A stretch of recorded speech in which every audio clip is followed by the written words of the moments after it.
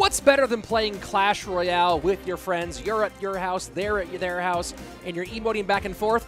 Well, playing face to face so you can see the look in their eyes when you destroy their towers and take all their glory. And guess what? That's back. More on that later. Hello. Welcome back to Three Crowns, your bi weekly home for Clash Royale esports news and beyond. I'm Rich Slaton. That's Andrew Ghai. And joining us on this one today, two time regional champion for Clash Royale League, Joshua A.C. Sharon. Andrew, we're reaching sort of the midway point of the summer. A lot of gold has been given out. What's on our docket today? Well, like you were talking about, man, we had the first in-person event in over two years. No golden ticket given away, but more on DreamHack a bit later. Talking about golden tickets, two more golden ticket events are starting right now. More information on how you guys can join. Battle banners have joined the game, so now you can see how bad I am before we even start playing. And lastly, Mohamed Light picks up a uh, third golden ticket kind of, the Snapdragon Pro Series has come to an end after months and months of competition. We got to our top eight over in the Europe, Middle East, North Africa region, and it all started with a big time grand final. Wait, oh, sorry, first bracket matchup between Mohamed Light and Morten. It was a great best of three, taking Momo to the distance. This is one of the only games that Mohamed Light lasts all day long. You see that Miner going to the back of the tower, the Archer Queen up high. That late ability going to be just enough. Wall breakers aren't enough. Electro Spirit is not enough. AQ connects for one more shot as the NATO pulls it back. Morten evens things up, but then is eliminated. Let's hop over to one of our three Frenchmen, Interaj versus Aslan here from Turkey. And you can see Aslan had this game completely sewn up when you watch it back on VOD. However, it was these late Golden Knight connections that tied this game up and made it dangerously close for Aslan. That Mother Witch is doing work, but you can see right here that Golden Knight connection. One, two, three, four, five, six, seven gets on top of the tower. Although there is no good building and great defense for Interaj, Aslan ends up taking this set 2 2 1. And that's a very important win right there. The biggest thing here as we look back at our bracket, Mohamed Light is at the bottom, Viper Aslan at the top. So our semifinals felt a lot like a golden ticket moment. So if you are Viper, if you are Aslan, you're just hoping Momo takes that bottom set and you win the top one. So Aslan starts right here strong with a golem play against Ooh, who knows? Giant Skeleton Mortar should be okay, right? Doing okay defensively. This game isn't too far out of reach.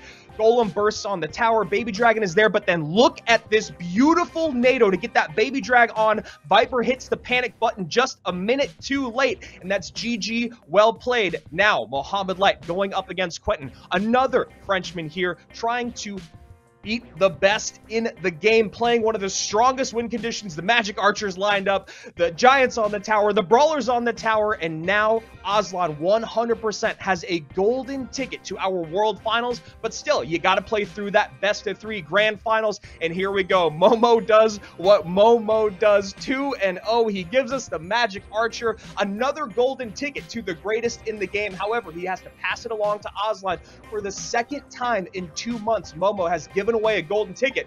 But luckily for everyone else in the world, he can't win a ticket. He can't even compete in this next great competition, Rich. Yes, that's absolutely right. Finally, something that Mo can't win, and that's the Copa All Stars event for North America and Latin America. Moving on into its fourth phase, let's look at those players. Again, 32 players remaining to get a chance for that golden ticket, and of course, a $50,000 prize pool. You can watch this stage four from July 5th to July 12th. What a great list of names here, and you can go ahead, follow along all the action, find out where to watch that stage four at eCopaGG on Twitter, and of course at Esports Royale EN. That is our fifth golden ticket, but the sixth golden ticket that anybody, including Mohamed Light, can compete for. Royale Masters is back, the gold edition this time. The final golden ticket before we get into our summer series. There is a three week open qualifier event you can earn points from July 2nd, 3rd, 9th, 10th, 16th, and 17th. And if you don't qualify through those first three weeks, you can do the last chance qualifier July 23rd and 24th. Go to royale.masters.gg for more information. Now, those are two competitions that take place online, but we are finally returning to offline, in person, real life events as we just did this weekend in Valencia, Spain for DreamHack. And things kicked off in what better fashion for an offline event? Well, with Bob the Rock against, that's right, Surgical Goblin one of the greatest of all time, the most decorated player of all time, playing live on stage once again. Here he was leading for a long time, just showing off just how hard it is to deal with this Three Musketeers mirror pump deck. And you see way ahead, but Bob the Rock able to surge right past him, Pun intended and take that one. Game number two in this matchup. You see Surgical Goblin nearly beats out that Lightning, but that does end his run in the top eight. Good three day tournament, good performance, but Bob the Rock takes the win there on from one star to another. Another former world champion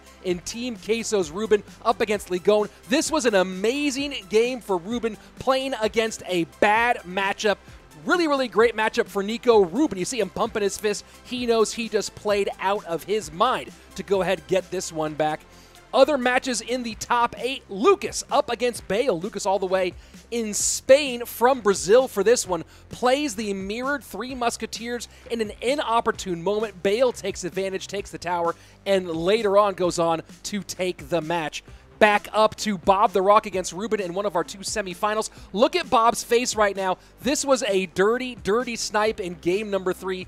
He's playing Lava Clone, sees Ruben playing Mother Witch, knows it's over. Ruben gets to him but has to get ready for a big matchup. Waiting to see who he'll play. It's Morten against Bale on the other side. Bale way in the lead. Morten fighting from behind at the end, stacking Royal Ghosts, stacking Royal Giants and preempting that Hog Rider on the right-hand side with the Zappies to make sure there's not a good spot for Bale to break on through. 103 to 330 to 272.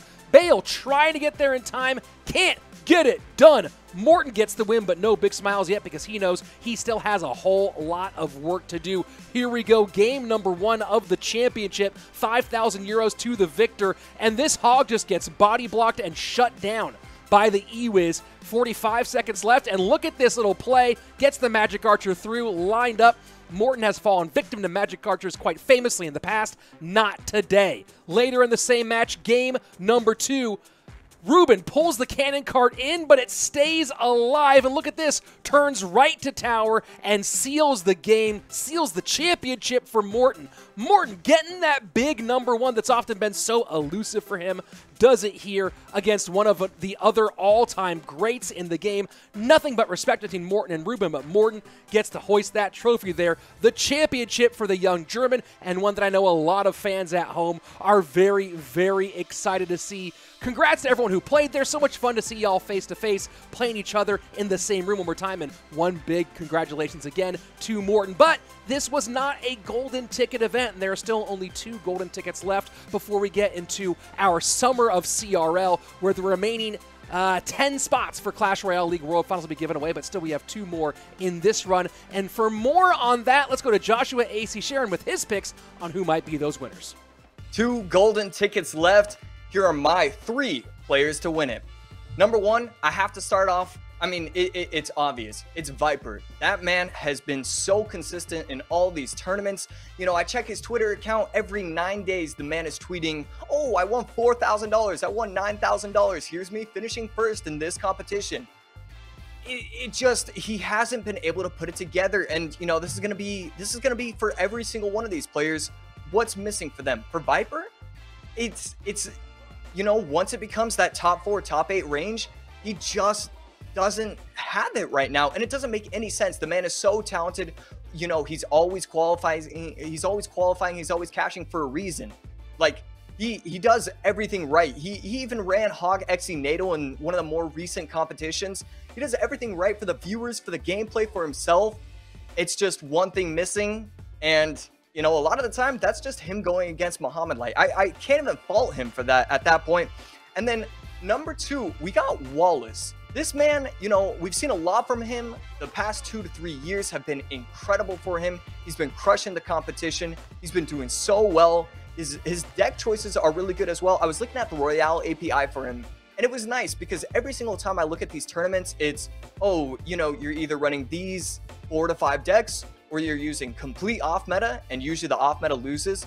For him, it's cool. It, it stacks up well against other, you know, the, the four to five consistent decks, but he always has a variation. He has RG Lightning Tombstone instead of RG Fireball Tombstone. He's a smart and innovative player. At the same time, something's missing with him as well. He, he finished 22nd on ladder last season, and really, if you want to be winning these competitions, you got to be looking for that top three, top five, top seven range because you need that consistency. You need to be, you know, okay with the pressure. And sometimes it, it feels like, you know, that could be the one thing he's missing. It, we just we need to see more from him, and and that's all right. I, I wouldn't be shocked to see him do well in these upcoming competitions. Those two guys are really my top two. For my top three, it's kind of a dark horse pick because I think those two guys are just so talented and so strong as players. Number three, that's going to be Ian77. Look, at the time of this recording, he just posted on Twitter, oh, I'm number one on ladder. You you don't get that. I, I don't care where you are. I don't care if it's the first eight minutes of season. If you're going to be able to be number one on ladder, that's impressive. At the same time, when it comes to competitions, he performs well. His cycle gameplay is unparalleled. The man is a machine. He went 18 and 1, and I think it was the second stage of the Bernard Chong Masters Edition. I mean, you don't go 18 and 1 without being one of the most gifted and, and strongest players in the game. But, and, and, and we were talking about it before the show started today. What is the one thing that all these players can do better? Get luckier draws. You know, in, instead of the group of death, it's the the the player of death. Can you be on the other side of the bracket as Mohamed? Like that's the main thing these players need to be working on. At the end of the day, all three of these guys have the potential to win, have the potential to do well in the world finals once we get there. It's just whether or not they can put it together. and really, especially Viper, I want to see them be able to do that. Anyways, that's it for, you know, my choices. I- am going to throw it to Andrew and Andrew only. What did I do to you, Josh? What did I? You know what I'm going to do is I'm going to dissect your picks here. Uh, Andrew, go first. Uh, anything you think Josh totally got wrong? Anybody you think Josh snubbed? And let's call it a snub. Let's really get him some Twitter heat right now. I actually really like the picks that he has. I think all three of them are really excellent players. I am surprised there's no Lucas X Gamer popping into that conversation. Mm-hmm. We haven't seen a lot of him over the last few months, but he's still out there grinding. He's still out there playing immaculate Clash Royale. But can he put it together before we get to World Finals? I think that's the biggest missing piece for me. But I'm not upset at the three that he chose. I think all three of those guys are excellent players, and I agree. If we don't see Viper at World Finals, I'm going to be a little shocked and totally bummed. Yeah, I mean, the hard part for Viper, and the reason why I'm not picking Viper or Morten for these golden tickets, is they only have one more shot. That's Royale Masters, right? So you only have one person in the world, because that's including Japan, that's including Latin America, North America, that's including everywhere that golden ticket at Royale Masters is going to be so competitive to get. Uh, I agree with you. Lucas should be on that list. There's a few NA and uh, LATAM players who have not one but two more golden ticket chances with Copa All Stars and then with Royale Masters. So I think they're the best chances to get one of those two golden tickets. And then the then the crazy thing, you know, I think Viper, uh, Morten, I mean Wallace has a pretty good chance for both those as well with him being in Brazil. But I think it's going to be really curious to see what happens with some of those players who've been bubbling all all year in this competition. What happens when we get into the actual CRL Summer Series? More on that coming your way maybe uh, kind of soon here, Andrew. And for everyone to see that information, what do they have to do to make sure they don't miss out? I'm going to scream at you guys this time. Make sure you're subscribed to the channel. Turn on notifications. We have big time World Finals news coming your way next episode. We have all these great competitions that we're breaking down for you who won and how you can join and win. Esports.clashroyale.com is another place to do it. Esports Royale EN on Twitter. And of course, you can follow the three of us at our respective Twitter handles. That is the best way to stay in the conversation, especially coming back to Three Crowns every two weeks. And that's it for today's show for everyone here at Three Crowns, meaning just Andrew and myself, and definitely not Joshua AC Sharon. We'll see you back here next time for more Clash Royale esports. Bye, Josh.